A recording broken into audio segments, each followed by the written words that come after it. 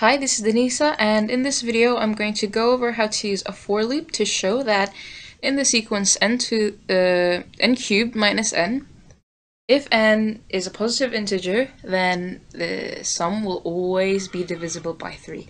I've derived this coding challenge from Code by Math, and it is a great website on how um, that teaches you how to learn code and how to learn math uh, in the context of each other, and I recommend you go check it out.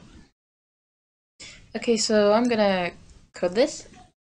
So we're gonna have a sum of uh, zero, which is which is which is what we're going to test the divisibility of, and we're gonna use the for loop like it asked to um, go up go up the positive integers in the range of uh, in the range of let's say zero, uh, 1 to 99 no um 100 okay and uh, so the formula was n to the power of 3 that is n cubed minus n should always be divisible by 3 and we're going to check that using the modulus operator. So if n uh, if sum uh, divided by 3 gives the remainder of 0. That is to say, it is divisible by 3.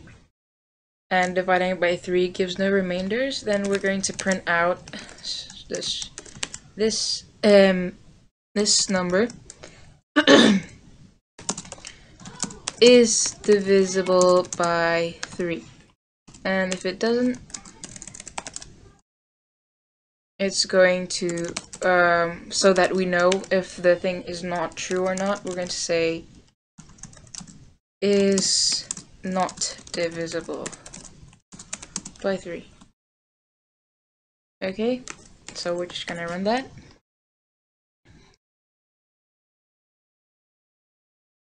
Okay, so we can we can scroll through this and you'll find that all of the numbers you put in are well, apart from zero or positive integers that are divisible by 3.